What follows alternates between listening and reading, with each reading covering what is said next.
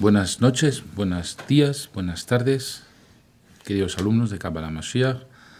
Reanudamos la clase de los secretos del árbol de la vida, la clase número 29, que ya son unas cuantas. Hoy martes 24 de octubre de 2023.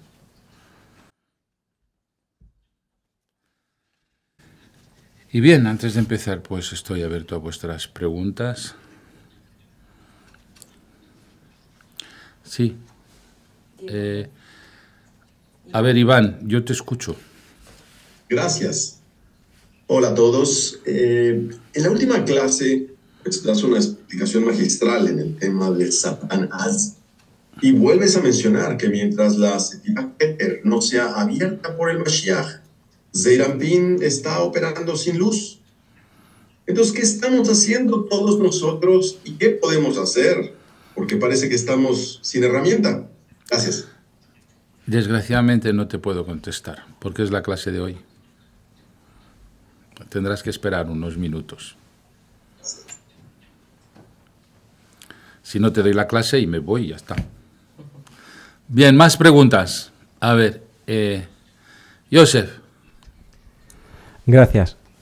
Mi pregunta es, eh, en, sobre las clases del SOAR, en la Parashá Lech Leja explicaba acerca del concepto de culpables, eh, que se llama culpable al que no estudia eh, los secretos de, la Torah, o, sea, que no estudia Kabbalah.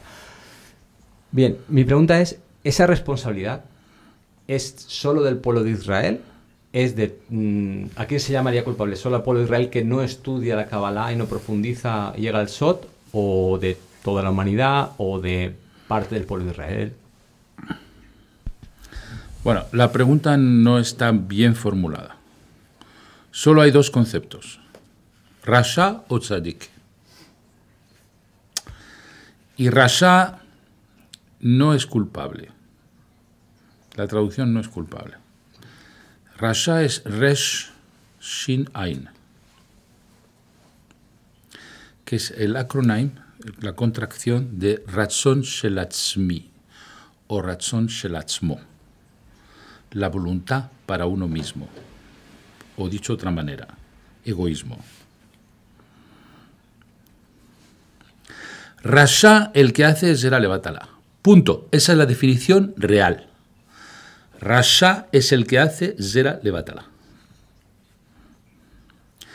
Tzadik es aquel que abre la Sefirá Yesod. ¿Y quién es ese? Aquel que estudia el Zohar Kadosh. El que estudia Zohar, Kadosh se llama Tzadik, el que hace Zera Levatala es Rasha, Ratzon Shelatzmo, el deseo para uno mismo, o Shelatzmi, para uno. Bien, esa es la respuesta. Dime. Buenas noches, maestro. Buenas noches. Eh, yo tengo una pregunta en cuanto a Hatzot. me parece que en un comentario del Leja comentó que la mujer no era tan necesario que hiciéramos Hatzot. Si lo hace la, el arma hermana por el otro en caso de que el otro no se levante, ¿puede contar?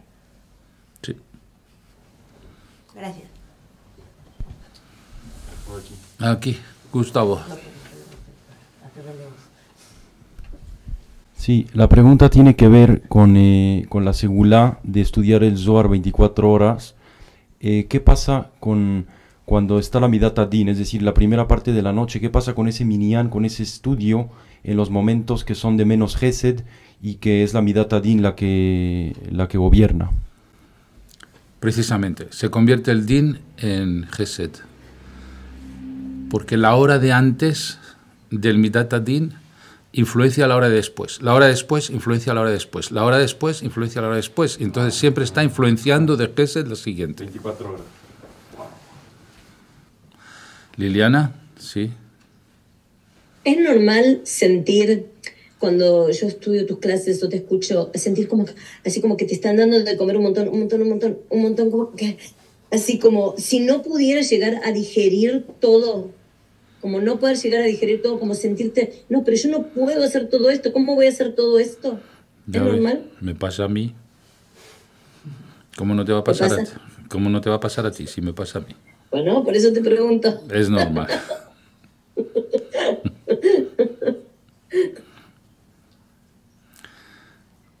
La Torah nos puede. La Torah nos puede. Mira, una persona con una ambición desmesurada, que se mete en política, por ejemplo, puede ser el mayor de los dictadores y luego hace las barbaridades más grandes y luego quiere más y quiere más y quiere más y nunca se sacia. Pero cuando te metes en la Torah, quieres más, quieres más y ya no puedes más. Porque te sacia tanto que no puedes más. Y si quieres más, la Torah te da todavía más. O sea que el mayor de los ambiciosos de la tierra no podría con la Torah porque la Torah te da más de lo que tú puedes digerir. Sin embargo, para cualquier otra actividad que sea política o que sea depor- deporte o que sea lo que tú quieras, puedes querer más y más y no saciarte, pero esto te sacia, ¿eh? Te sacia hasta que dices, no puedo más. Así que cualquier ambición desmesurada con la Torah queda satisfecha.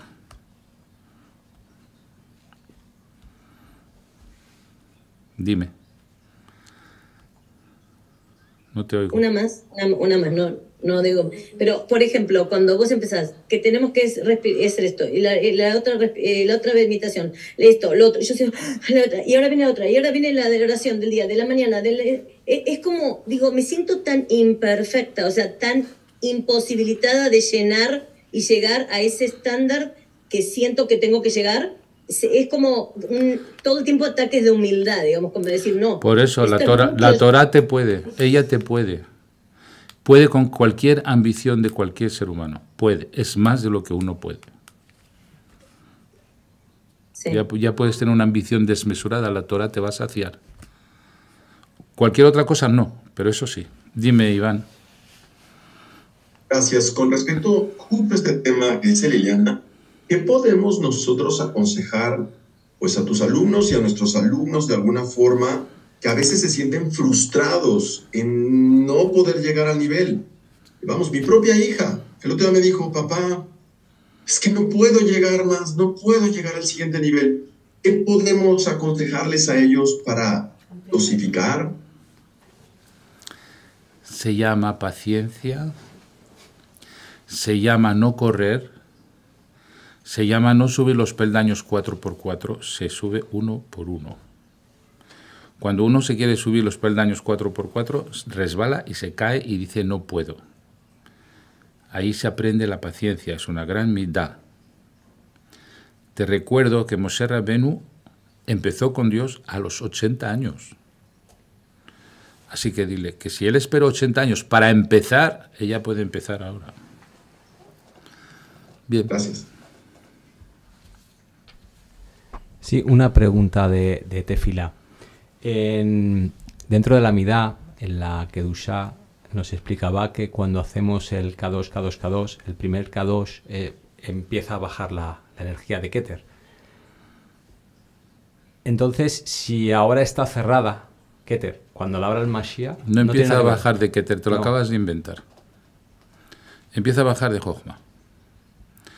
Jochma bina Geset, bina Geset Geburah, Geburah, eh, a ver, Jochma bina Geset, bina Geset Geburah, Geset Geburah Tiferet. Esos son los tres K2. Arranca en, en Jochma termina en Tiferet. No arranca en Keter, porque Keter está cerrado. Y es un, y es un Jochma tenue. Cuando Mashiach abra Keter, ¿qué quiere decir? Ese, Entonces ahí te vas a enterar lo que es bueno. eso, entonces ahí es cuando sí que... Ahí baja directo de Keter a Malhut, lo inunda todo. Todo. Pero lo inunda con una luz que no se puede soportar, deslumbrante.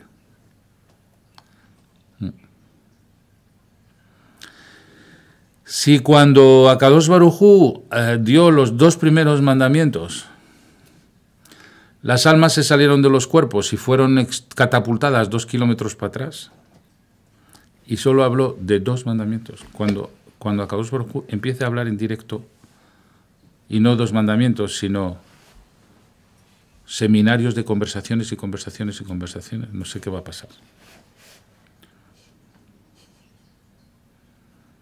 Bien, a ver, internautas. La edad posee un significado cuando el Creador les habla en alguna edad determinada, cuando lo cita en la Torá. Sí, sí, sí. Ya hemos visto lo que ha pasado con los patriarcas cuando, cuando Akadosh Baruj los despierta. Como he dicho, Moshe Rabbeinu a los 80 años y Yaakov eh, se despierta de verdad cuando se casa, porque antes de casarse se llama Jacob y después de casarse se llama Israel. Cambia de nivel de conciencia. Entonces puede ser la edad de antes de casarse y después de casarse. Puede ser uno de los parámetros. Hay más parámetros. En la parashá Noach, que acabamos de leer, eh, decía que los colores del arco iris, si tengo entendido, están relacionados por ejemplo, con arcángeles, que sirvieron de testigo del pacto entre Dios y Noah. Sabemos que la oración de los arcángeles, que Mijael es azul, Gabriel es un pilar verde, Uriel es amarillo oro y Rafael es violeta. Me gustaría saber sobre los tres colores restantes del arco iris, índigo, naranja y rojo, si tienen ángeles o arcángeles correspondientes para estos rayos de color. De, color. Bueno, hay colores de base y luego hay combinación de colores. Los arcángeles de verdad son los, los colores puros. Lo demás son combinaciones de, de colores que ya no son arcángeles. Son ángeles al servicio de los arcángeles. Bien, más preguntas. Em, de las letras del tetragrama Yudke Vavke, ¿cuáles son las letras femeninas y cuáles son las masculinas? Masculinas es Yud y Vav y femenina He. La constelación del Draco o dragón es parte de la astrología cabalística? Sí. ¿Y de ahí se cogió luego en Oriente? No olvides que las concubinas de Abraham vino, que eran seis, una de ellas se fue a Oriente, con el conocimiento de Abraham vino.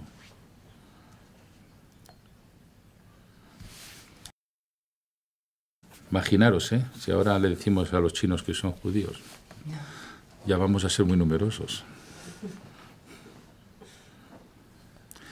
Nunca he visto un chino antisemita. No existe.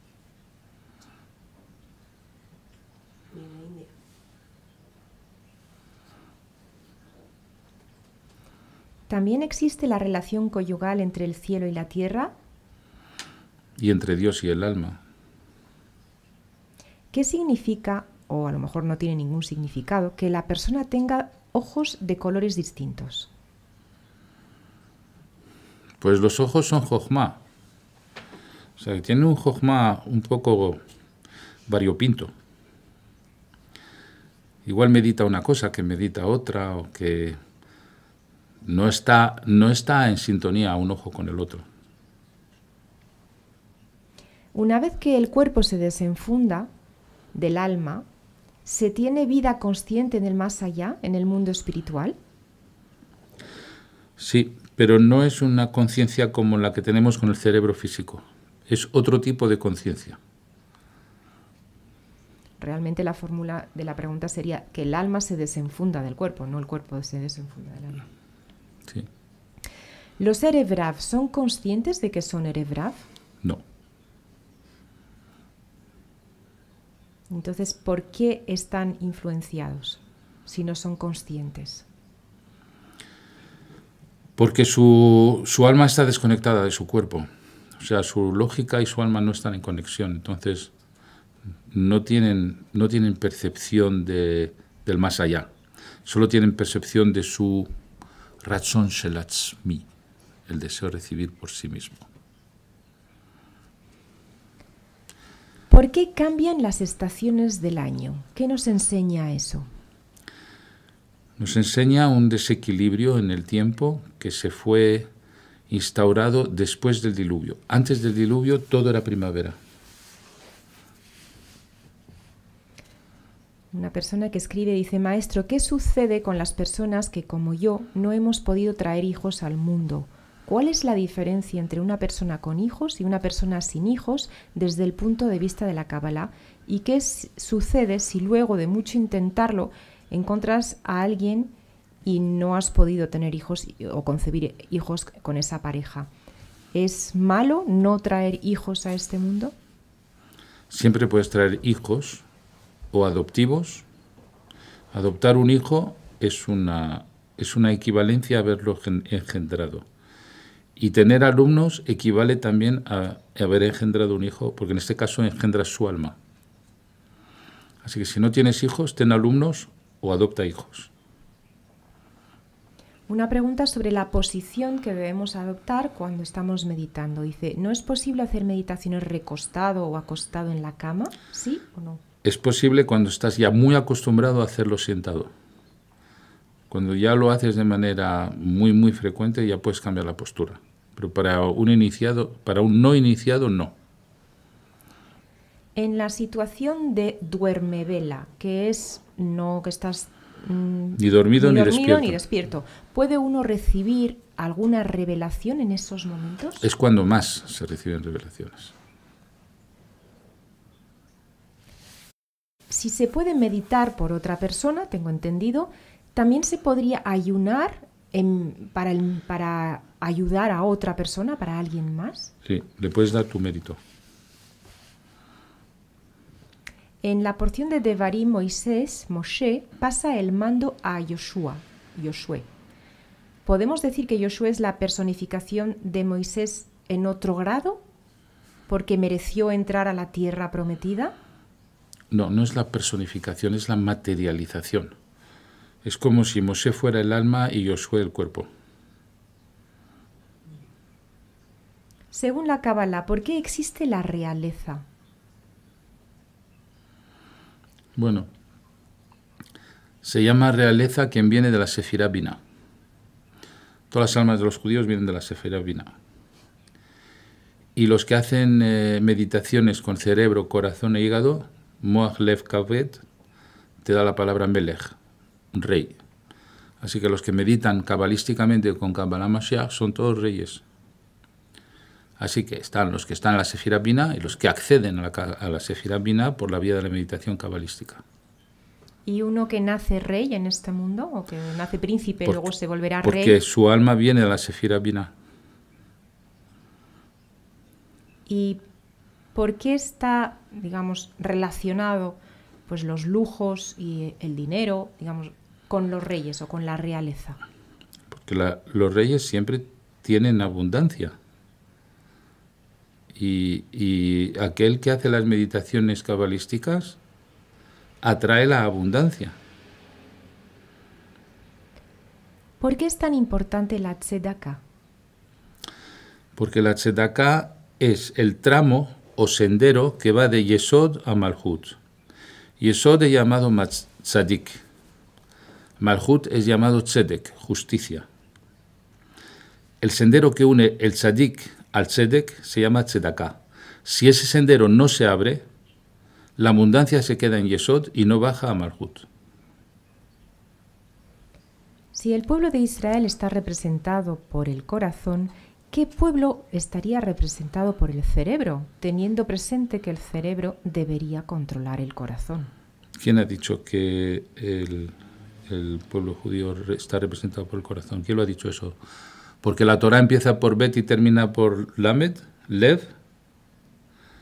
Lo que quiere decir que el alma está en el corazón, pero no está representado por el corazón, está representado por la mente.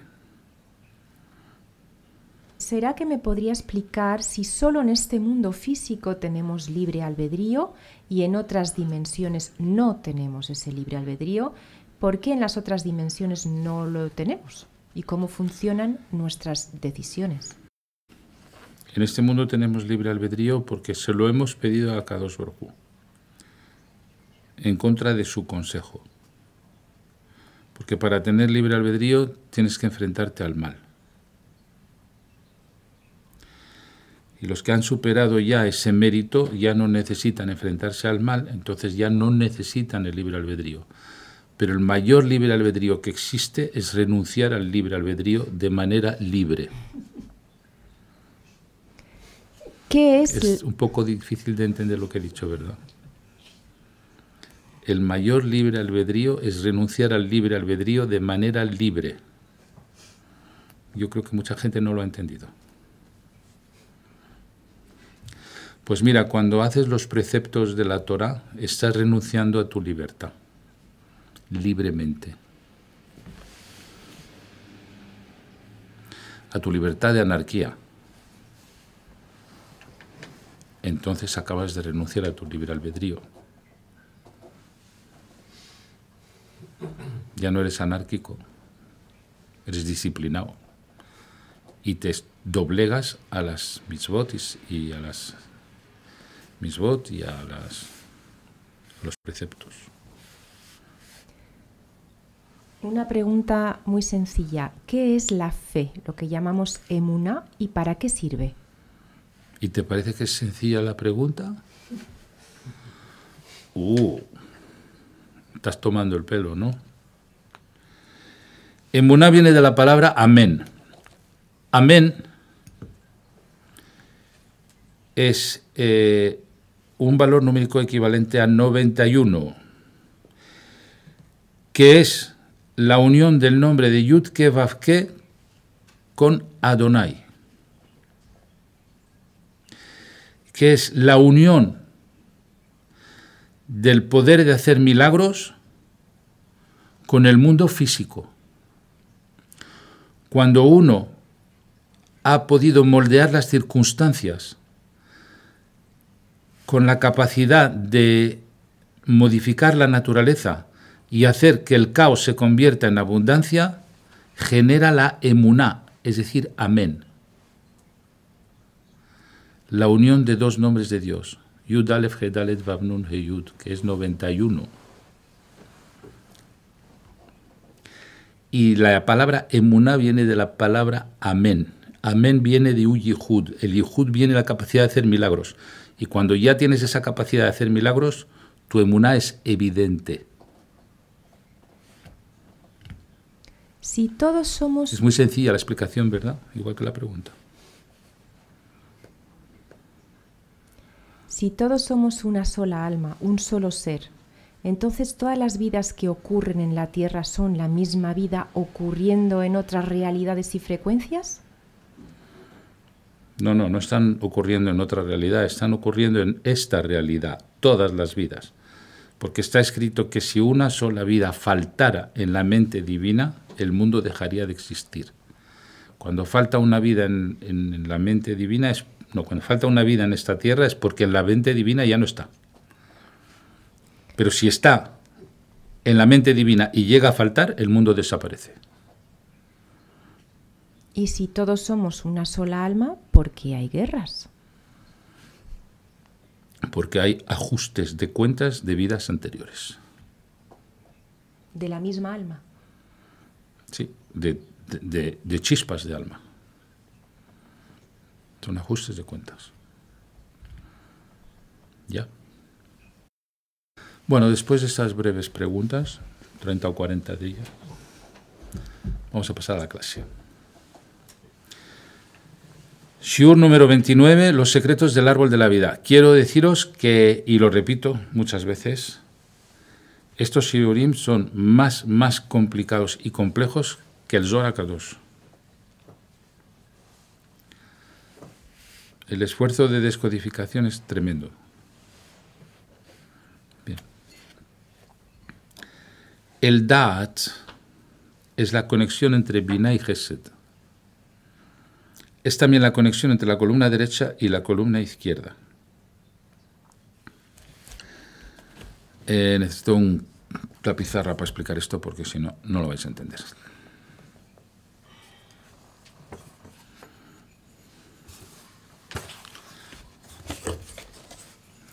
Si tenemos aquí Keter, Jochma y Bina, y luego viene el resto del árbol, ¿eh? Gesed, Geburah, Tiferet, etc. De esta cortina para arriba es el mundo del alma. Del alma Neshama. De esta cortina para abajo es el mundo del Nefesh y Ruach. Es decir, son almas de más baja, más baja intensidad. El Da'at que está aquí conecta Bina con Gesed. Es decir, es el conocimiento que hace cruzar la cortina. Y el Da'at es la unión conyugal. Porque Akadosh Baruj dijo en Bereshit, Adam conoció a Javá. Palabra conocer hace siempre alusión a la relación conyugal. Entonces, el secreto está en la relación conyugal, que es la, que permite pasar del alma superior, luego al, al ruach, luego al nefesh y luego al cuerpo físico. Bueno, aquí tendríamos el resto de la sefirot. Bien.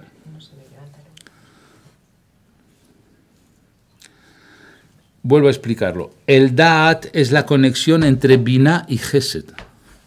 Es lo que hace cruzar la cortina. Es también la conexión entre la columna derecha y la columna izquierda. ¿Por qué? Porque cuando ya hemos pasado de Binah a Gesed, Gesed puede conectar con Geburah.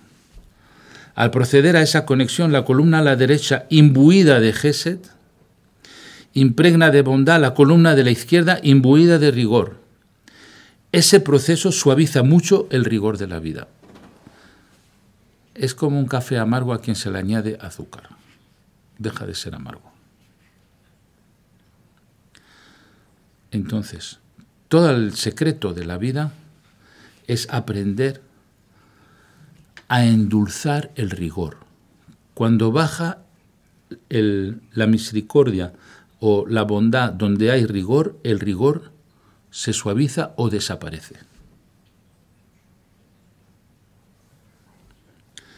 Por eso el Baal Teshuvah se inicia conectándose al Da'at con el Shem Kadosh Aleph He. Aleph He es el nombre que genera Da'at, conexión. Lo tenemos en las iniciales de la primera frase de la Torah. Bereshit bar Elohim et Hashamaim veet Haaretz. Et, Aleph. Hashamaim, He. Veet, Vav. Haaretz, He. alef He, Vav, He. En la primera frase de la Torah ya está el Da'at. Es el nombre que el maestro medita para inculcar espiritualidad a su alumno y lo medita en el Kiddush del viernes noche. Luego aquel que tiene invitados en su casa el viernes por la noche y hace el kiddush en el vino del viernes por la noche, su cabana es meter al jebabje en el vaso. Genera un Baal Teshuvah. De Binah, con luz tenue proveniente de Jochma, porque Keter seguía cerrada, salieron las sefirot de Zeirampin con poca luz, al punto que a Malhut casi no llega luz.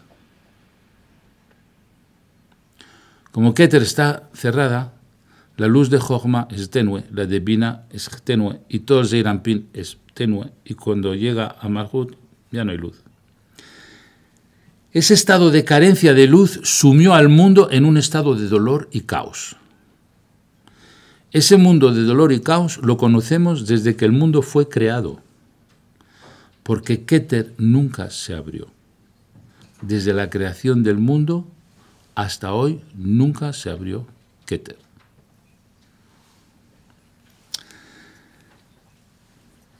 Siguen los lamentos por no conseguir una plenitud. Sin embargo, esa situación está destinada a cambiar, ya que llegó el tiempo de las reparaciones de todos los mundos. Akadosh Barujú, por su bondad infinita, decide volver a gerenciar el mundo con un manantial de bendiciones infinitas. Ese manantial de bendiciones infinitas no lo conocemos todavía, no sabemos qué es. El Ein Sof y el Keter abren de par en par sus grifos por orden divina en Yehidá con el Mashiach ben David. Ah. Entonces, cuando el Mashiach ben David une su alma con Akadosh Barujú, por orden de Akadosh Barujú, se abre por primera vez los grifos de la Sefira Keter, que a su vez se alimentan de la Insof. La luz deslumbrante empieza a inundar toda la Sefirot, llegando a Malhut. Muchos humanos se ciegan ante tanta luz y huyen ante la sabiduría de la Kabbalah desvelada.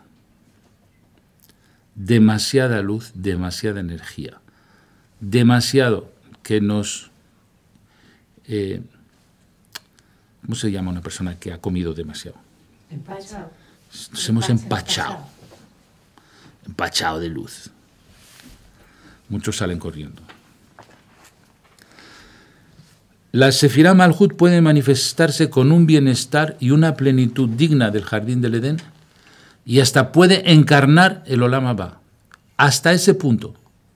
Podría ser que el Olama Ba bajara a este mundo.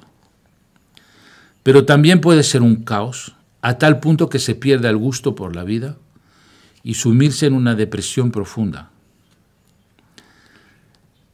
¿De qué depende vivir con plenitud o vivir con depresión? Esa es una pregunta. Ahí va la respuesta. O no, no lo digo. Sí, ¿no? Da ganas de saberlo, ¿verdad? La respuesta radica en la Sefirah Yesod, que vuelca abundancia o carencia a Malhut. La Sefirah Yesod es responsable de la vida que viviremos en este mundo. Todas las Sefirot vuelcan su esencia y se almacena en Yesod. Si todas las esencias de la Sefirot vienen del lado de la izquierda, Yesod se va a llenar de rigor. Si las Sefirot envían su esencia de la columna de la derecha y se almacenan en Yesod, Yesod se va a llenar de abundancia y de veraja. Luego la Sefirah Yesod es la responsable de la vida que viviremos en este mundo. Ahora voy a explicar más qué quiere decir eso. La Sefirah Yesod, ella a su vez recibe de Gesed de la columna a la derecha o de Gevurah de la columna a la izquierda.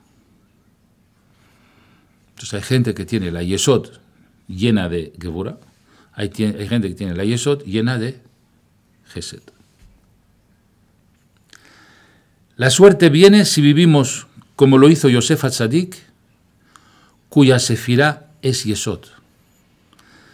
Entonces, entendiendo cómo vivió Yosef Atzadik, copiando la vida de Yosef Atzadik, nosotros llenamos la sefirá Yesod de bendición y de abundancia.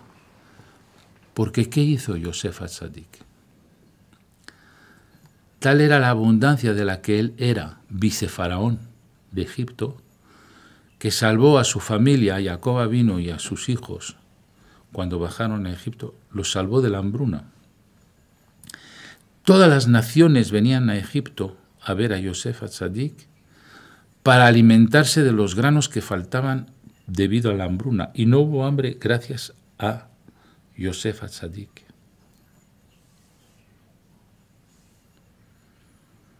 La suerte viene si vivimos como Yosef Atzadik. Ahora yo he dicho que hay una definición de tzadik y una definición de rasha. Rasha zera levatala, tzadik kadosh. La gente vive en caos, zera levatala. La gente vive en abundancia, zora kadosh. Es facilísimo de entender. O llenas el yesod de Zorakadosh O llenas el Yesod desde la Levatalá, lo llenas desde la Levatalá, guerra, caos. Lo llenas de Zohar, abundancia, paz.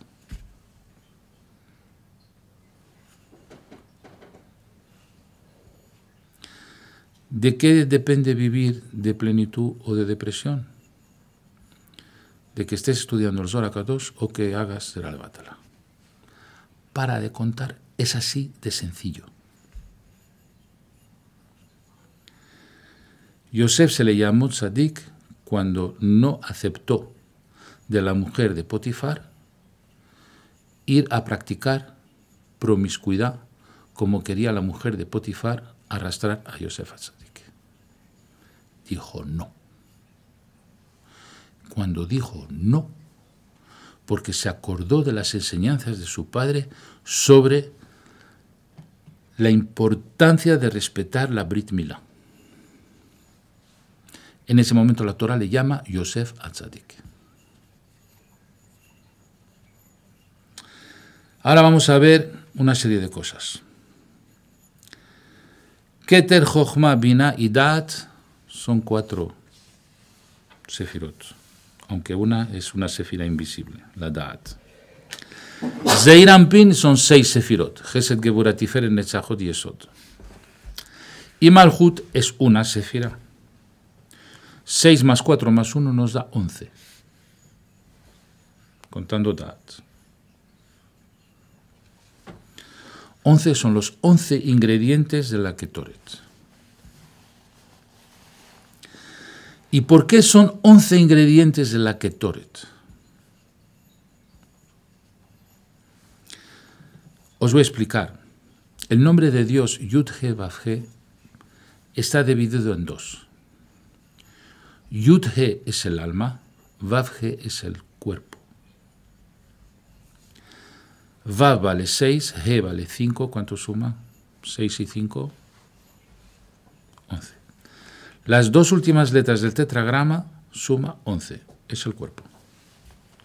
Las dos primeras letras del, tetragrama Yud-He representa Yud, Keter Jochma, y He, Pina. Es el mundo de Achilut, es el alma. Vav-He es el mundo del cuerpo. El mundo del cuerpo está lleno de clipot,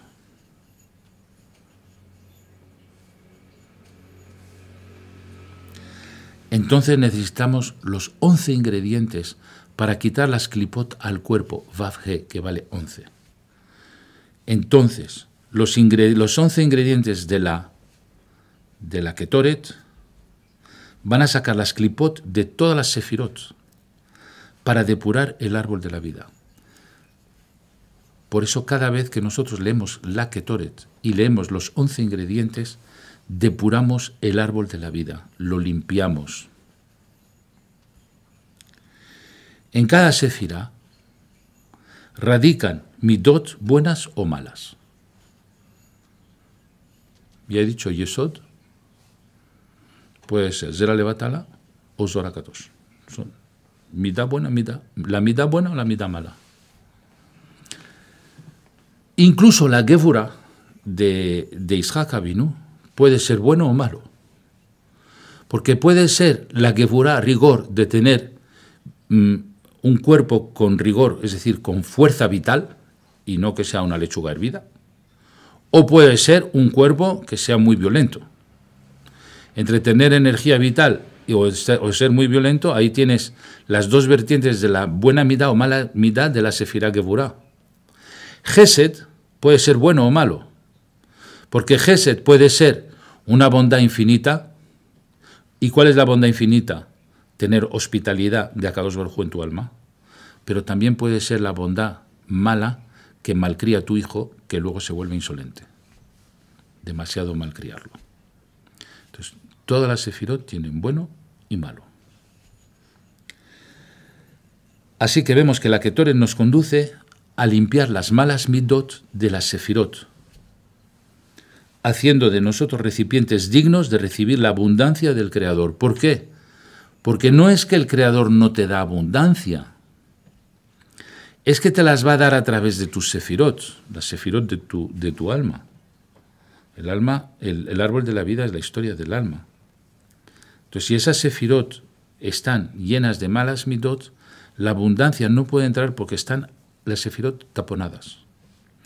En el momento que nosotros leemos las, los 11 ingredientes de la Ketoret, hemos depurado las sefirot de nuestro árbol de la vida, es decir, de nuestra alma. Y el recipiente se ha limpiado, se ha abierto y ya puede recibir la abundancia.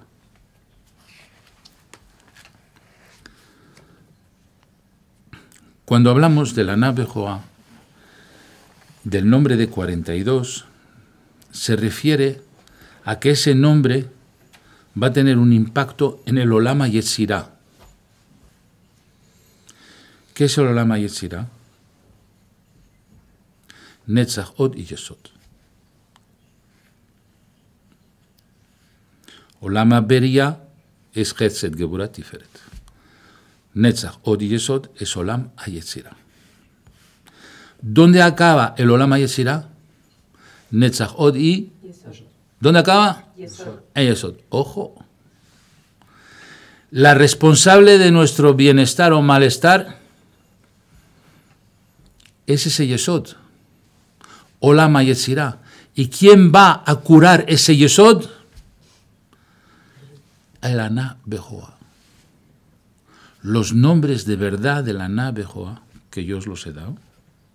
Adiyarón, Bayarón, Gabirarón, Bayat, Lamiat, Sefaniá, Keramiá, Regaría, Diría, Segañá, Telatián, Nearián, Ismaría, Guiaría, Doría, etcétera, etcétera, etcétera. Hay que conocerlos, ¿eh? Hay que decirlos todos los días, ¿eh? Limpia el Yesod.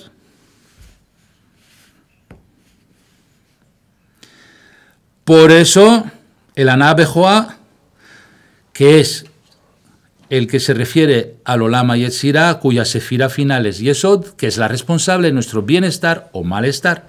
Por eso el nombre 42, Anábejoa, se asegura que el Olama Yetzirah, es decir, Netzachot y Yesod, sean puros y no vuelquen en nuestro Malhut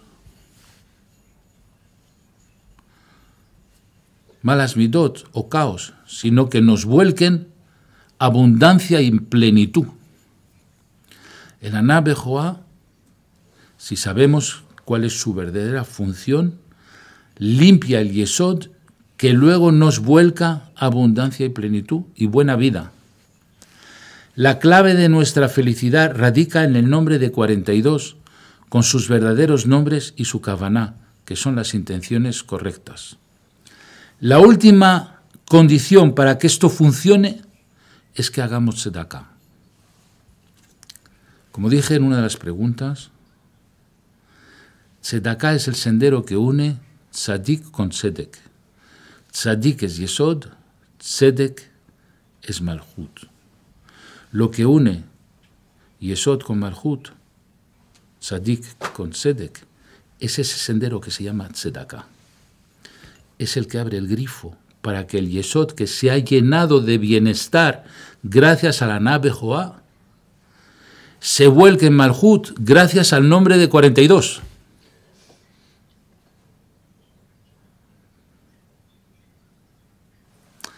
Ahora, ¿por qué Malhut es llamado Tzedek, que quiere decir justicia? ¿Sabéis lo que quiere decir justicia, Tzedek, en Kabbalah? Malhut es nuestro mundo físico, es nuestro cuerpo físico, es nuestra vida física. Y es llamado tzedek, hacer justicia. ¿Sabéis qué quiere decir hacer justicia al mundo físico? Tzedek. Tzedek es el nombre que le corresponde a Malhut, hacerle justicia. Se llama en Kabbalah hacer justicia a Malhut, estudiar los secretos del cielo, eso es hacer justicia. Tzedek es el estudio de la Kabbalah. Cuando en Malhut estudiamos la Kabbalah, estamos haciendo Tzedek. Cuando en Yesod estudiamos los 42 nombres de la nave Joa, estamos haciendo Tzadik. Y cuando hacemos Tzedakah, que no solo es de dinero, sino también de enseñanza a los secretos del cielo, entonces baja la abundancia de Yesod a Malhut.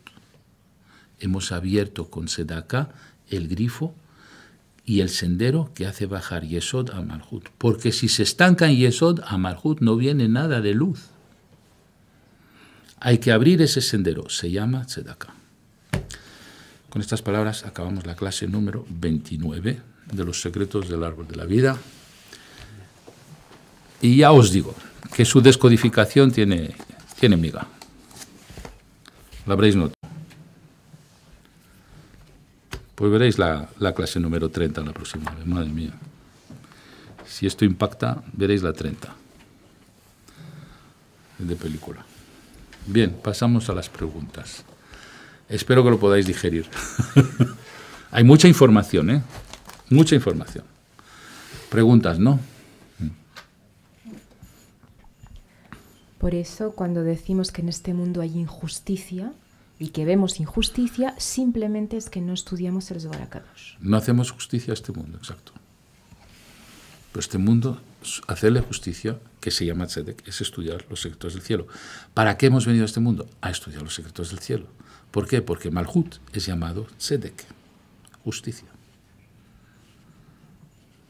Hay que tener las definiciones muy claras en la cabeza. ¿eh?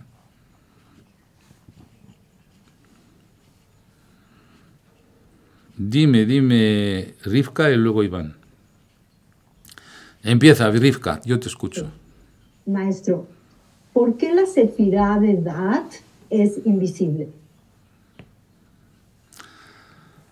Porque es una intención. Si la mujer no quiere, el hombre no se acerca. Ese querer no es una sefirá, es una intención. Si el alma no quiere, Dios no se acerca. Es una intención. A ver, Iván, tu pregunta. Así es. A ver, si entendemos esta situación de fontanería, nos acabas de explicar que la lectura de la Ketoret limpia la Sefirot de la, vida y los verdaderos nombres de la nave Joach son la cura y la limpieza de Yesod. Pero insisto en mi pregunta inicial, Keter está cerrado. Entonces es como recibir, ok, la fontanera ya está limpia, pero sigue siendo muy tenue, un goteo. ¿Es correcto o no?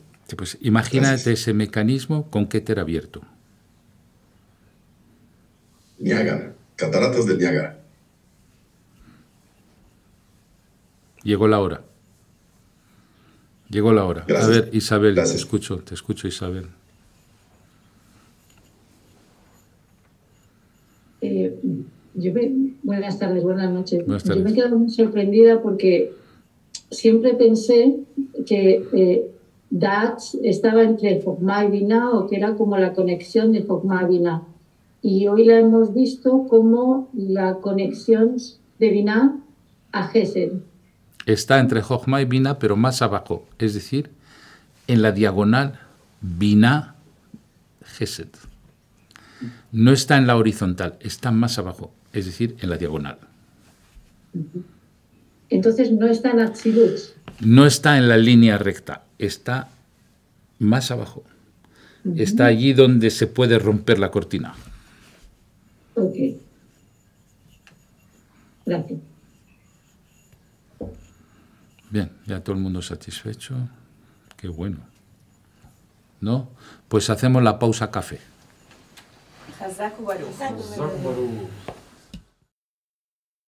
A ver, la meditación que vamos a hacer ahora la he creado yo. Es una meditación para parar la guerra para que se acabe la guerra. Es una meditación para el shalom absoluto.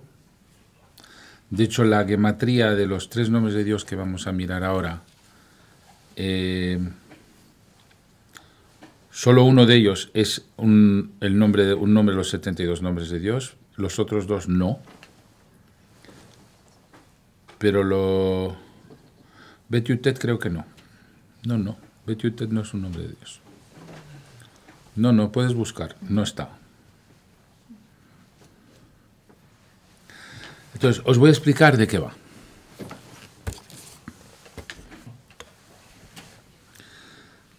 Tenemos aquí Het que es el nombre para curar el Zera Levatala. Tenemos el nombre Yud Havshin, está en la, nave Joá, son las iniciales de Yehudeja Kebabat Shombrem. Y tenemos el nombre Bet Yutet, que es el que anula los demonios de guerra. La guerra es un demonio. Pero ese demonio puede funcionar siempre que haya Zera Levatalá y la Son Levatalá. Es decir, mala utilización de su semilla, mala utilización de la palabra, que puede ser la difamación, hablar mal del prójimo, etc. O sea, el ser humano es, el judío es creador y procreador, con su semilla puede crear una circunstancia o un hijo, y con su palabra puede crear un demonio o un ángel. Y cuando aquí ha creado algo malo y aquí ha creado algo malo, pues viene un ángel que también hay que anular. Betyutet anula el ángel de la guerra. Cuando sumas la gematría de Betyutet, Het y Yud te da Shalom. Quiere decir que si curamos el Zera Levatala, el Ashon Levatala, y quitamos el ángel con Betyutet de la guerra, acabamos de reparar el mundo y traer el Shalom. Así que vamos a visualizar estas tres palabras, estos tres nombres, para generar Shalom. Y lo vamos a dirigir directamente a Israel. ¿Entendido? Entendido, sí. Vale, pues nada, empezamos. Pies paralelos en el suelo, palmas boca arriba sobre las rodillas. Nos vamos a ver dentro de una estrella de David de color oro. Enfrente de nosotros hay otra estrella de David de color oro. Y vamos a llamar estos tres nombres. Llamamos a Betutet, Het Betvav Yud Havshin. Bet anula el demonio de la guerra. Het Betvav anula el Zera Levatala. Yud Havshin anula el Lashon Levatala. Luego ya no hay motivo para que haya, para que haya guerra. Y tiene que venir la paz. Tenéis libre conversación con estos tres nombres porque cada uno es una inteligencia que habla. Podéis hablar con Bet Yutet, con Het Betvav, con Yud Shin, son nombres positivos que curan. Bet Yutet cura el que haya un demonio, Het Betvav cura el Zera Levatala, Yud Shin cura. Es curación total de la Son Levatala.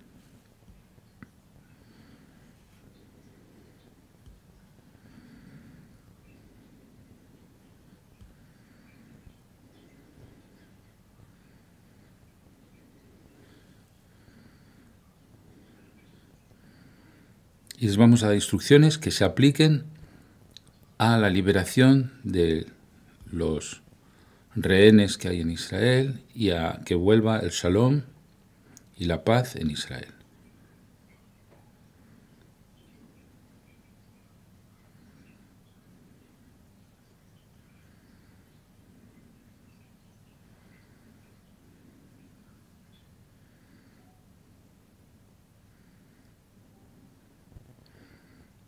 Y también lo vamos a extender al mundo, al mundo entero, que haya paz en el mundo entero para todas las naciones.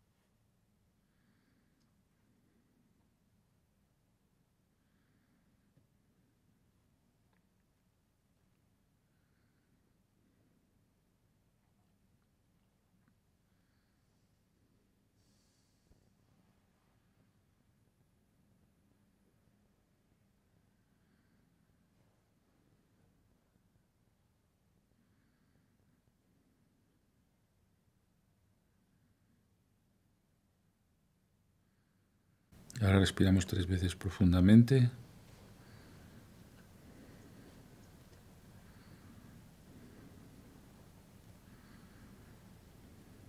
Abrimos los ojos.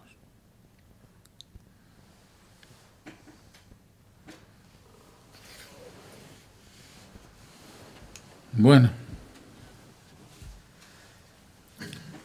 pues adelante quien haya visto algo.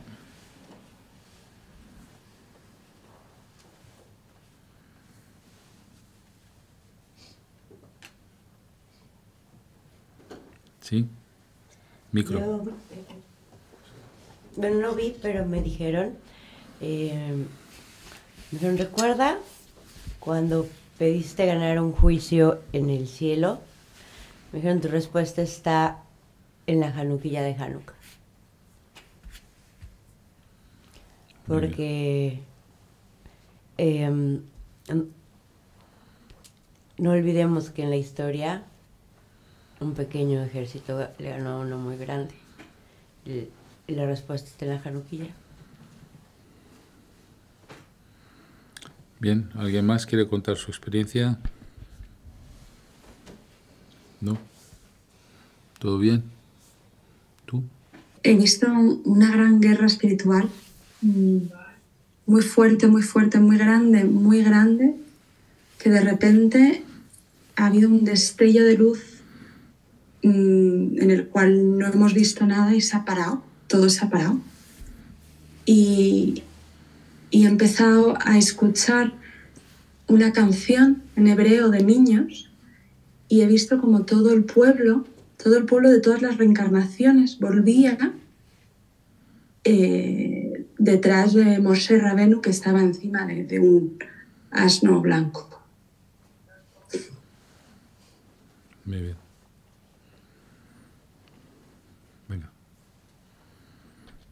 Sí, yo vi como la, la luz de Akadosh Baruj directamente me dice, no soy un ángel, no envío a nadie, vengo yo directamente. Igual que en, que en para...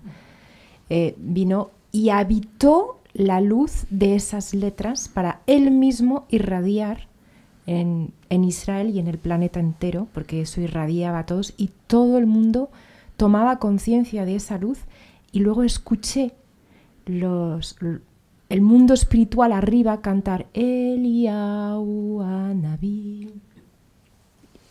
Fue precioso. Ya. Pues. Eh. Sí.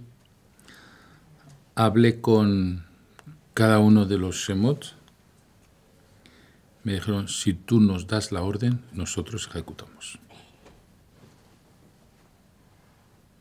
Así que he dado la orden de llevar la paz a Israel.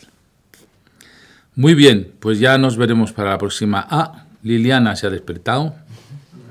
¿No? ¿Quieres decir algo? No.